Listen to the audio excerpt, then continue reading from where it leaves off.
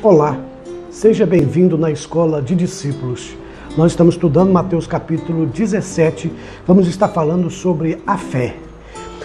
No versículos 19 e 20, que diz assim: Mais tarde os discípulos aproximaram-se de Jesus em particular, perguntando-lhe: Por que não conseguimos expulsá-lo?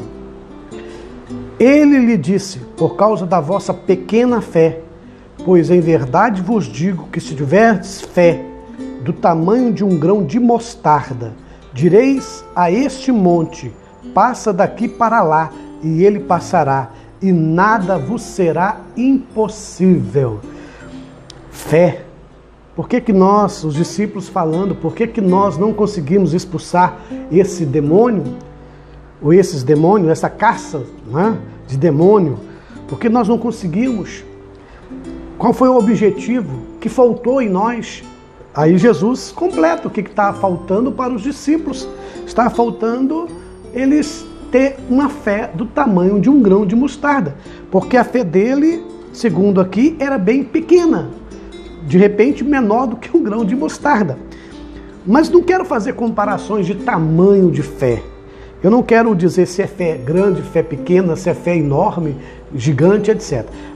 A finalidade aqui hoje é a gente entender um pouco mais, que eu já falei no outro vídeo, o que, que é fé. Porque a fé, como eu disse no outro vídeo, tem nome e sobrenome. A fé é em alguém, a fé é em Jesus Cristo. Eu quero acompanhar com vocês alguma, algumas observações aqui. Quando se diz para ter fé, nós lemos lá em Hebreus, no capítulo 11, do versículos é, 3 a seguir, que diz assim: pela fé entendemos que o universo foi criado pela palavra de Deus. Então, o universo foi criado por quem? Por Deus. E qual a forma? Pela palavra de Deus, de modo que o visível não foi feito do que se vê. Então, não existia nada, Deus disse e aconteceu. Mas com isso eu posso comparar a mim com Deus, eu posso dizer também e as coisas irão aparecer? Claro que não. claro que não, porque eu não sou Deus. Não tenho nenhuma pretensão de ser Deus, porque você já conhece bem a história. Quem quis ser Deus se deu mal. eu costumo dizer o seguinte: é, é, Lúcifer, Satanás, o Lúcifer, o anjo de luz, ele teve, tinha tudo do bom e do melhor lá no céu o céu não foi suficiente para ele. Ele tinha tudo do bom e do melhor junto com Deus. Ele não achou bom. Ele queria algo mais. E o que ele queria é ser Deus. Então, o importante aqui não é o lugar onde nós estamos para ter fé. É o que nós desejamos. É em quem nós cremos é o que nós pensamos, o que, o que falamos, o que falamos e o que nós agimos. É, é naquilo que nós estamos botando a nossa confiança. A confiança é em mim para me tornar um Deus, eu vou me dar bem. O céu vai virar um inferno para mim. Ou, ou, melhor, eu vou sair do céu, porque isso que aconteceu é, é com o, o Lúcifer. Ele quis ser igual a Deus, ser Deus, para dizer, porque ele falando que eles ele sendo um Deus, ele não precisa de Deus, ele é independente. Ele não, ele não, ele não, ele continuando a sendo Deus ou ele querer ser Deus, ele está dizendo para Deus: assim, olha, eu não preciso mais de você. Eu não preciso de Deus, porque se eu sou Deus, para que, que eu vou ter outro? Então não preciso. Então eu, eu, eu, eu consigo andar com as minhas pernas. E se deu mal. Agora perceba o seguinte: aonde que Lúcifer estava? Estava com Deus. Tudo do bom e do melhor. Tinha alguma doença? Tinha algum monte, algum obstáculo, algum problema? Não tinha nenhum.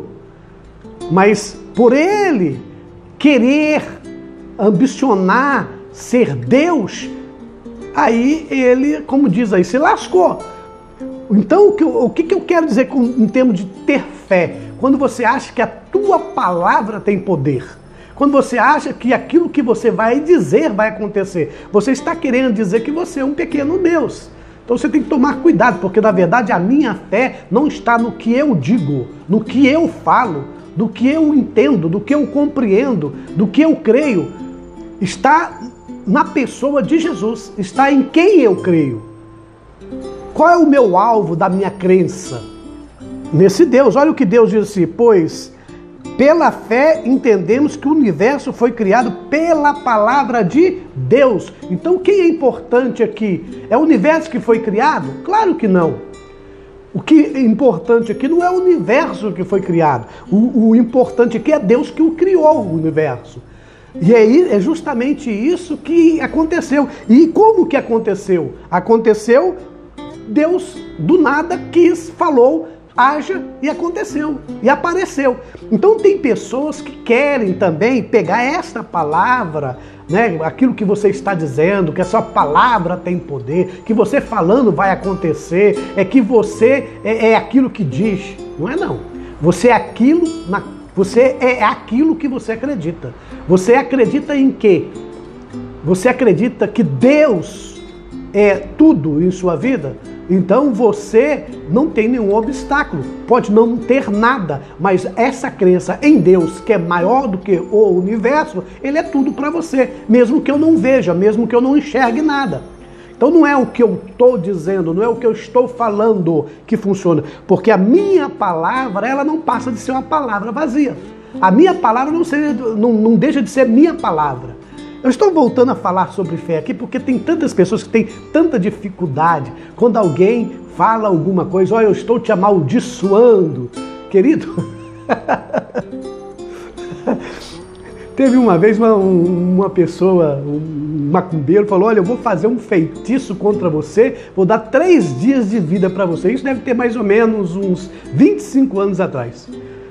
Já pensou se a palavra dele tivesse poder?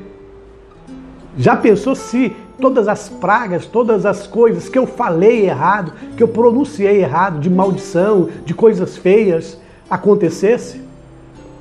Já parou para pensar quando uma pessoa te fizesse muita raiva, você olhar para essa pessoa e falar, cai morto, e a pessoa caísse morto? Porque a sua palavra tem poder. Não é isso que Deus está dizendo aqui. Não é que a sua palavra tem poder. A sua palavra não tem nada, não tem poder nenhum. Agora, em quem você está crendo, não é na palavra, porque se você crê na tua palavra, ela é pequenez, ela é vazia, mas naquela pessoa que você acredita, que é o próprio Deus, isso ele aí você tem poder. Aí nada é impossível para você. Porque nada é impossível para você, porque você tem um Deus que do nada fez tudo.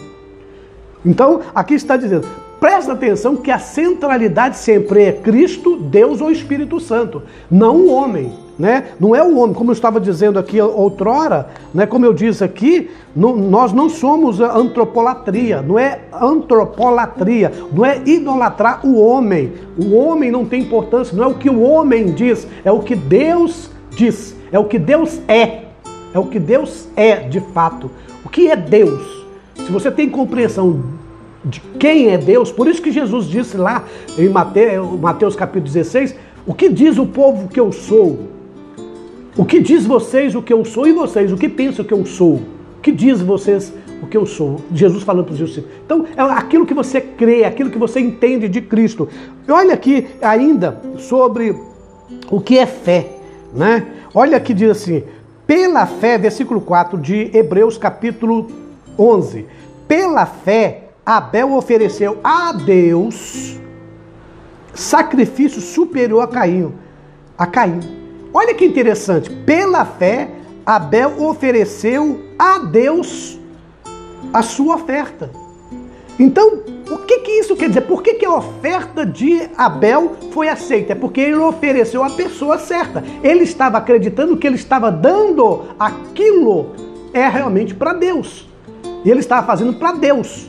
Então, é em quem eu estou tendo fé é que funciona o negócio aqui, Caim, de repente ele estava fazendo para ele, fazendo por ele, fazendo para é, é, é, é, de forma dele, não da forma que Deus quisera, não da forma que Deus queria. Então, olha aqui, pela fé, Abel ofereceu sacrifício superior a Caim, por quê? Por que, que ele fez isso? Foi aprovado, né? Pela fé ofereceu a Deus. Então, a, a, o principal aqui também não é a oferta que é oferecida, porque os dois ofereceram ofertas. Então, se Abel ofereceu e Caim também ofereceu, não, é o, não, não, não são as ofertas que são importantes, mas a quem essa oferta foi direcionada. Então, a minha fé está sendo direcionada a quem? Olha agora outro aqui, do versículo 5. Pela fé, Enoque foi arrebatado para não experimentar morte, e não foi achado, pois Deus o arrebatara. Então, olha aqui, Enoque foi arrebatado pelo, porque ele quis. Enoque foi arrebatado porque ele disse: Eu vou ter um poder e eu vou ser arrebatado. Não, ele foi arrebatado porque Deus quis, porque Deus fez isso. Olha que diz aqui, ó, é, arrebatado, visto que antes de ser arrebatado, né? É, pela fé, Enoque foi arrebatado para não experimentar a morte e não foi achado, pois Deus o arrebatara. Quer dizer, ele estava crendo, ele cria em Deus e Deus que fez isso. Então a nossa fé tem um nome e sobrenome, é Deus, e que nós chamamos hoje aqui de Jesus Cristo, né? O Filho de Deus vivo, o Cristo. Olha outra coisa que o verso 6 do capítulo 11: sem fé é impossível agradar a Deus, pois é necessário quem se aproxima de Deus creia que ele existe e recompensará os que o buscam. Então, eu creio que é a minha crença que é importante? Não, é em quem eu estou acreditando que é importante. É Deus, é o nome, né? É o nome e sobrenome como eu tenho dito para você. Eu estou voltando nisso aqui para falar de fé, porque fé é o que? Fé é eu não ter problemas? Fé é eu, eu, ter, eu não ter dificuldade? Não. Pelo contrário, fé é quando eu estou cheio de problemas, é quando eu tenho uma montanha à minha frente e que é um grande prejuízo e que me traz grandes transtornos e eu ainda tenho paz, mesmo os problemas sérios, porque eu não estou focado nos problemas, eu não estou focado no monte, eu não estou focado na montanha, eu não estou focado no problema em si. A minha crença não está é, é, é, baseada no que eu sinto, no que eu penso, no que eu entendo. Está baseada num Deus que é verdadeiro, um Cristo, o Filho de Deus, o ungido.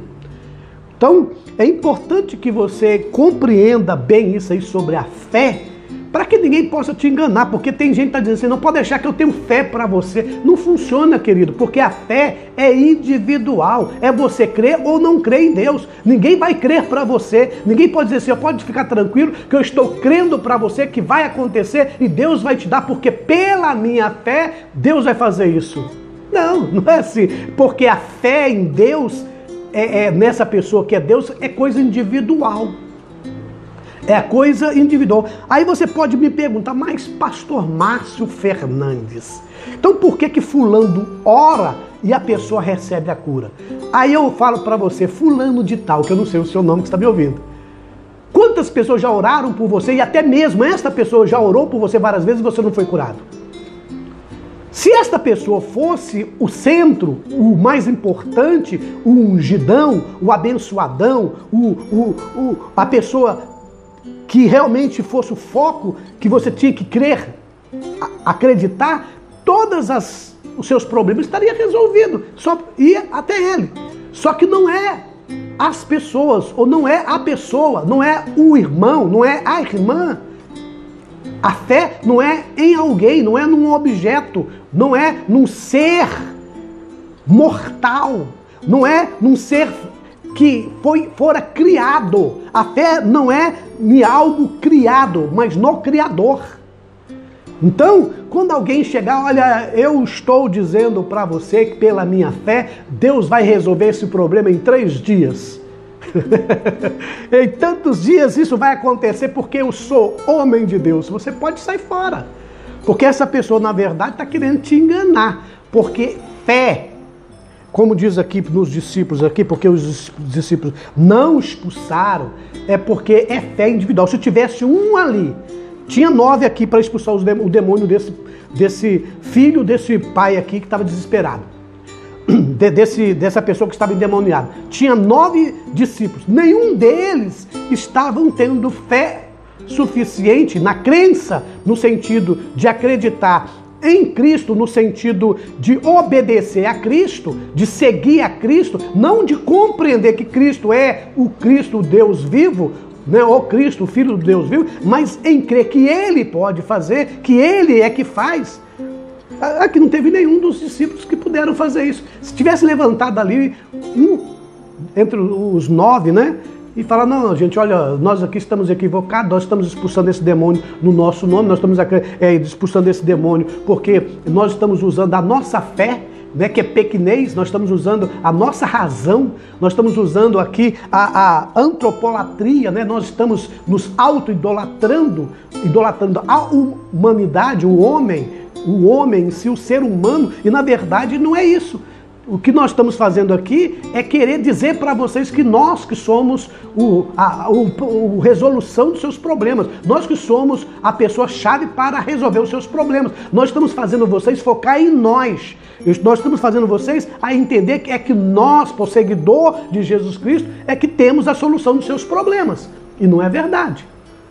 Então, por isso que você é, não é uma igreja não é um pastor que você segue, não é uma igreja que é mais abençoada. Ah, porque a minha igreja aqui há poder, a minha igreja aqui é a melhor, a minha igreja aqui, aqui tem poder, aqui. Não é isso. Então, quando a pessoa está fazendo isso, na verdade, ele está vivendo a antropolatria, colocando a idolatria no homem. Quer dizer, é o pastor que está ali que ele está acreditando que ele realmente, de fato, é abençoado. Então, ele está trocando a sua fé no homem. E aí é enganado. Aí ele passa a ser enganado. Aí o diabo aproveita a oportunidade, esconde às vezes até mesmo o problema, para a pessoa depois falar assim: olha, o problema foi resolvido.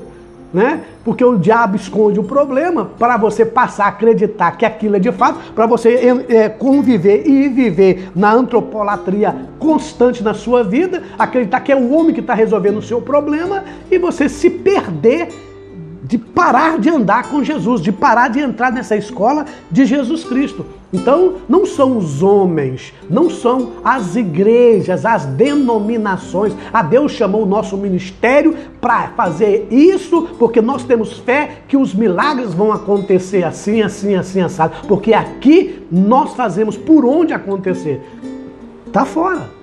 Está fora da Bíblia. Está fora da palavra de Deus. Porque a, a, a fé é em alguém, é em Cristo, não é intitulado para um ser humano ou alguma coisa. A fé é em Deus. Você tem fé em Deus? O que Deus está dizendo é que você pode, tem capacidade individualmente de chegar a Deus. O que, que fez esse pai? Foi a Jesus. E o que Jesus fez? Mandou chamar o menino e expulsou o demônio. Os discípulos aproximaram de Jesus também. Perguntaram a Jesus por que, que nós não conseguimos. Jesus ensinou eles. Por quê? Porque eles estavam perdendo o foco, a visão, a fé. A fé deles estava distorcida. Então tem pessoas que vai chegar perto de você e vai dizer para você o seguinte: olha, é, eu estou é, é, é, profetizando, eu estou determinando que isso vai acontecer na sua vida. Eu, como profeta de Deus, eu estou dizendo que isso vai acontecer. Você está perdendo a fé. Por que tá, sua fé está pequena? Porque você está acreditando é que na palavra humana é que pode resolver o seu problema. Você está acreditando que esta pessoa que está profetizando para você, está falando para você, essa pessoa é de Deus e que ele, por ser de Deus, é melhor do que você. E por ele ser melhor do que você porque ele é de Deus, você está dizendo assim: eu não posso chegar diante de Deus. Então você automaticamente está pecando e também quem profetiza está pecando. Por quê? Porque quando Cristo veio, quando os discípulos entenderam quem, quem Cristo é, ele disse: Ele é o Cristo, o Filho de Deus vivo. Quando Pedro respondeu isso, Tu és o Cristo, o Filho de Deus vivo, eu já falei isso nos vídeos passados. Jesus está dizendo assim: Olha, a partir de agora não há necessidade de ninguém mais profetizar para vocês, porque eu sou o sumo, eu sou, eu sou o seu profeta, eu sou o seu sumo sacerdote, eu sou o seu rei, eu sou o seu profeta. Então você agora acredita em quem?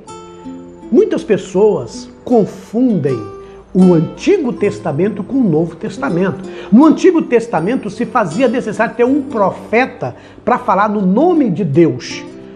No Antigo Testamento havia uma uma tenda que tinha três divisões, que faria necessário ter um sumo sacerdote e sacerdotes para ajudar as pessoas a ser perdoados seus pecados, porque eles eram os intermediários. Mas quando chegou Jesus, o Cristo, acabou tudo isso. Isso acabou. A tenda, o tabernáculo, agora que, tem, que tinha três divisões, foi substituída por ser humano. Você que é o tabernáculo de Deus, você que é a morada de Deus. E Deus está morando aonde? Em cada indivíduo, em cada coração. Então você voluntariamente, você não precisa de homem para chegar diante de Deus. Você não precisa de outra pessoa para levar a sua fé a Deus, porque você diretamente tem acesso a Ele, porque você agora é essa morada de Deus, você é esse templo de Deus, você é esse tabernáculo de Deus que foi rasgado de alto a baixo para dar acesso a qualquer pessoa. Quando Jesus morreu, ele fez isso. Ele desmanchou, ele destruiu, destronou, ele acabou com os tabernáculos. Na verdade, o tabernáculo já tinha acabado há muito tempo. Né? Se você estudar a Bíblia, você vai saber que quem é, Deus pediu Moisés para criar o, o tabernáculo, as três divisões ali, o pátio, o santo e o santo do santo, né, para iniciar a, a, liturgia, o culto. Depois disso veio, veio Davi, né, né, Davi, eh, ele quis fazer é, uma, um, um, templo, Deus não deixou, não, Deus não o deixou, mas Salomão foi o construtor do templo. Depois desse Salomão construir o templo, foi a glória de Deus ali, Deus destruiu esse templo. Esse templo foi destruído. Depois que esse templo foi destruído, foi feito um outro templo chamado Templo do Jerabobel, mas foi destruído também. E esse templo acabou. Então, o que, que acabou, pastor Márcio Fernandes?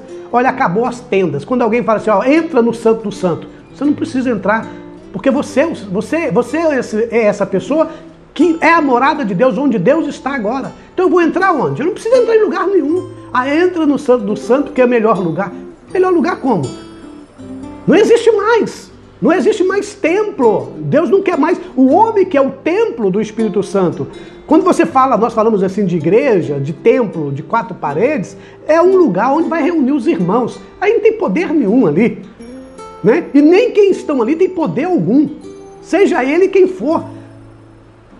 Seja a pessoa que for, não tem poder algum. Né? Porque quem tem, quem é a pessoa central ali é Jesus Cristo. Alguém vai dizer para mim, é pastor, mas Jesus disse lá, ficai na cidade de Jerusalém, até que do alto sejais revestido de poder, e ser-me-eis testemunha, né? Então a questão, esse poder era o que? Era a capacidade de receber agora um novo tempo na tua vida, até então, antes, antes de Jesus morrer, já tinha acontecido é, o tabernáculo, já tinha acontecido, acabou o tabernáculo, depois apareceu o templo de Salomão, o templo de Salomão, acabou o templo, e as pessoas ainda estavam procurando a querer construir templos. Aí o que, que Deus fez? Deus, dizendo, Deus disse assim: olha, esse templo vai cair. Em três dias cai e acaba. O que eu quero dizer é que a partir de agora eu não faço mais morada em templo de mãos humanas.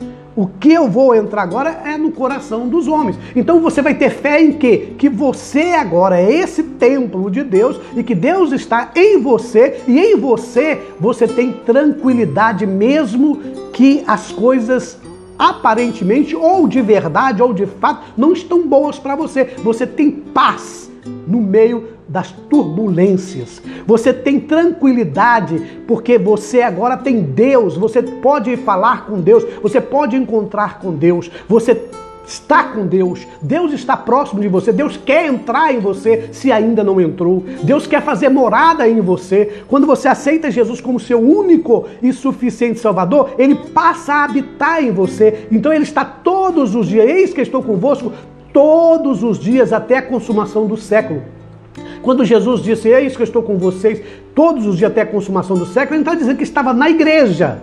Ah, eu estou indo na igreja, Jesus está lá. Não, está em mim. Aonde eu estou, ele está porque eu sou o tabernáculo de Deus, eu sou a morada de Deus. Então eu tenho fé em quê? Eu tenho fé que agora eu sou a morada de Deus e Deus mora dentro de mim. E se ele não mora dentro de mim, eu sei que um Deus existe, que o Cristo, o Cristo, é o Filho do Deus vivo e ele pode entrar em mim e ele entrando em mim, se ele quiser arrancar toda, todo, todo, todo mal, a partir do momento que ele quiser é, tirar toda turbulência, a partir do momento que ele quer acalmar o mar, ele vai acalmar. Então, o que é fé? Fé é você, mesmo que as ondas estão bravias, mesmo que o mar está revolto, você consegue descansar, você consegue ter paz. Mesmo que todos dizem que, é, é, é, mesmo que você mesmo está dizendo, olha, está tudo ruim para o meu lado, eu estou cheio de problemas, cheio de doenças, mas você sabe que aquele que habita em você ou quer habitar em você, porque você é o templo do Espírito Santo, a qualquer hora ele pode apaziguar isso, a qualquer hora ele pode acabar com isso, com esse problema, com essa dificuldade que você tem. Então você descansa e você tem fé em Cristo que pode descansar nele. Uma coisa é certa, quando você tem esse Cristo dentro de você, tabernaculando com você, você sabe o que eu posso dizer com você com toda segurança? A doença é de menos. é. O câncer é de menos. A AIDS é de menos. Enfim, qualquer outro problema é de menos. Por que, que é de menos? Porque aquele que é criador está dentro de mim. Se ele quiser, ele pode tirar tudo isso. Ele pode acabar com tudo isso. Então eu posso deitar no meu barco tranquilo quando as ondas estão bravias. Eu posso dormir em paz, mesmo estando cheio de problemas. Porque a minha fé está dizendo que é Jesus Cristo, que ele é o Criador. Eu sou a criatura. Inclusive, ele conhece melhor do que eu esses problemas que eu tenho, essa doença que eu tenho, ou essa dificuldade que eu tenho, ou esse problema que eu tenho. Então, ter fé é isso aí, é você acreditar nisso. Onde Jesus disse, né, é, é, vos será possível, né? Disse, olha, é o versículo 20. E ele lhe disse: Por causa da vossa pequena fé, pois em verdade vos digo que se tiveres fé do tamanho de um grão de mostarda, direis a este monte: passa daqui para lá, e ele passará, e nada vos será impossível. Né? Nada vai ser impossível, porque para Deus nada é impossível. Para você tudo é possível.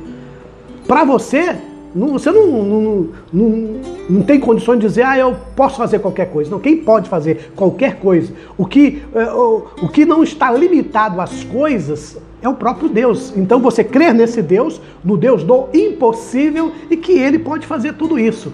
Então, é, é, é, esta palavra de fé que você precisa. O que eu quero garantir para você é o seguinte: não é o fim, essa doença que está em você. Não é esse problema que você está é, na sua casa, na sua família, é o fim. Porque Jesus é que dá a palavra final. O que Jesus quer que eu e você saiba, que nós saibamos, é que Ele é o Senhor do universo. Ele é criador, ele é Deus e ele pode, se quiser, fazer o impossível na sua vida. Basta você falar, eu creio em Jesus Cristo e que você tenha paz, paz nesse problema que você está passando, continuar acreditando nesse Deus, continuar servindo esse Deus, continuar andando com esse Deus. Você não desespera, você não entra em desespero, você não vai querer se matar, você não vai querer suicidar, porque tem muitas pessoas que estão fazendo isso. Tem muitas pessoas que quando dizem assim, ah, eu creio em Jesus Cristo, eu estou, então agora eu vou parar de tomar o remédio. Você está se matando, você está suicidando aos poucos. Não, não são os remédios ou a doença que é o problema. O problema é você acreditar, crer, ter fé que Jesus está em você. Ele está habitando em você, ou ele está aberto, ele está pronto para habitar em você. Porque mesmo que há as tribulações, os montes, as dificuldades, você é capaz, do meio de tudo isso, você falar assim: dormir tranquilo, você ter paz, você é, é, mostrar serenidade e alguém vai perguntar você está assim tão tranquilo? Aí você vai falar, porque eu tenho um Deus que taber, ele tabernácula comigo, ou seja, ele está tabernaculando comigo, ele está morando dentro de mim. E esse Deus que eu creio, que eu tenho fé, ele pode fazer quando quiser ou ele não pode fazer. Mas a minha confiança não está no que ele vai fazer. A minha confiança está que ele é. O que ele é, não o que ele pode fazer.